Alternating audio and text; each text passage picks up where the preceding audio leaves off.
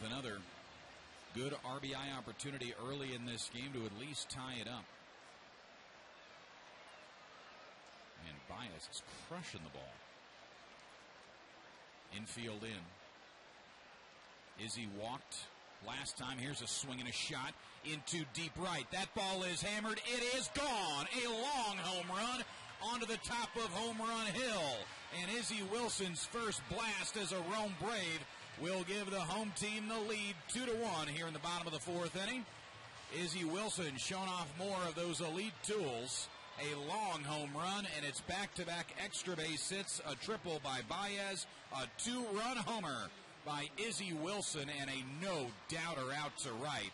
That ball was smoked. Nothing but a courtesy glance from Hayward at the warning track.